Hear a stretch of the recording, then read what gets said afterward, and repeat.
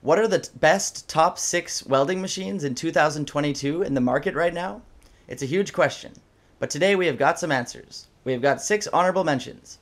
We prepared these lists according to their price, performance, battery life, and more. Head over to our channel to watch its full video. Thank you.